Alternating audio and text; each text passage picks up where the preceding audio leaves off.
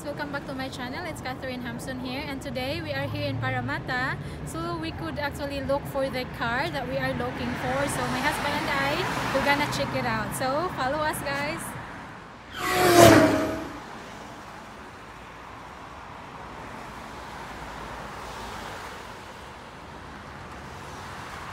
Get all the people here.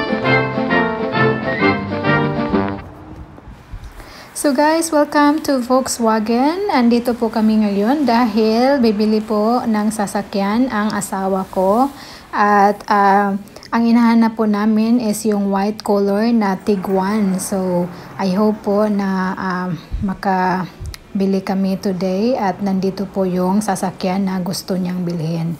So While waiting po sa salesman na mag-a-assist sa amin, ay tumitingin-tingin na rin po kami sa mga naka-display dito na sasakyan guys. Ayan, makikita nyo na yung mga sasakyan dito na naka-display po ay medyo uh, may uh, kamahalan din yung presyo dahil po ang Volkswagen ay uh, a German car which is um, some are made in Germany so it's really a very good car.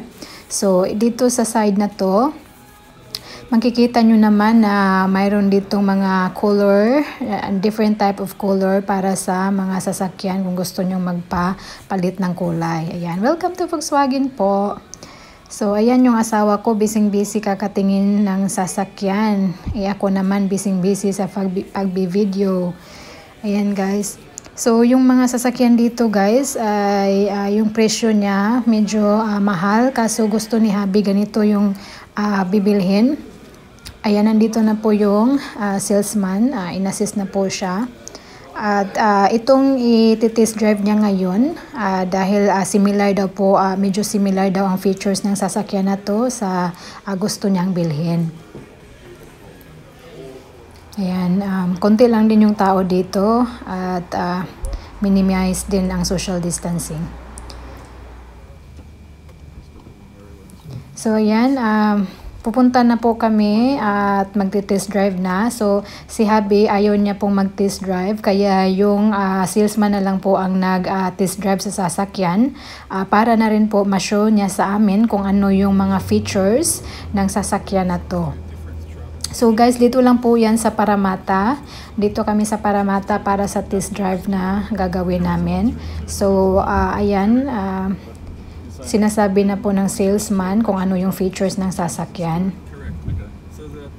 So, pwede pala ito, uh, yung, uh, yung manubela nito guys, pwede daw hands-free. So, pwedeng uh, wala, hindi mo hinawakan yung manubela at tatakbo pa rin yung sasakyan.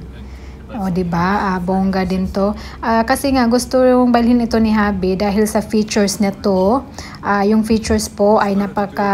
Uh, God, uh, napakaganda ng features kasi nga ay um, yung safety, uh, mayroon siyang uh, parking assist guys. So, yun din yung uh, gusto ni Habi para din makahelp din sa akin para hindi masyadong uh, hindi ako masyadong maratil ba pag nag-drive. Ayan. Ayan o, oh, naka-handsfree na po siya guys. Even though this is a different interface, you still get the same